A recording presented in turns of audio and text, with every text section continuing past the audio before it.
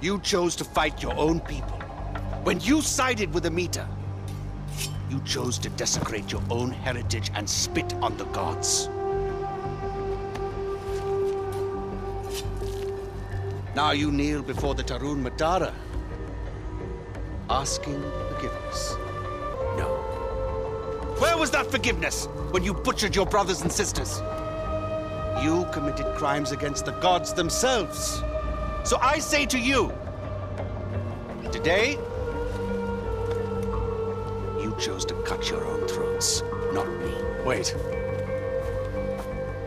Bhadra.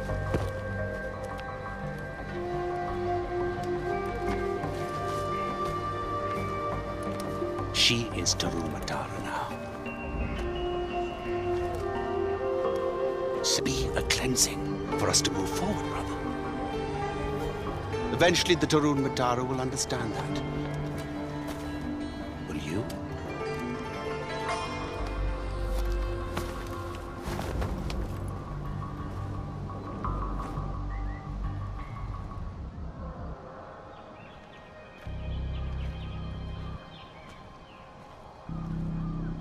I want you to go into every home and find every child, every child, bring them back here to me. Go. What's going on? We need more soldiers to fight the holdouts from the Royal Army. And I need to start thinking about Kyrat's future. We have opium fields to protect, laws to enforce, workers to keep in line. So you're forcing the people to join Golden Path? I'm sacrificing our liberties for peace later. You can either get in line or get out of the way. मेरे बच्चों को छोड़ दो हमारे पास और कुछ नहीं है सिर्फ हमारे बच्चे हैं प्लीज उठो This is a good thing. Your children will help Kyrat become a better place. If you love Kyrat, you will turn around, go into your homes, or I will have you shot.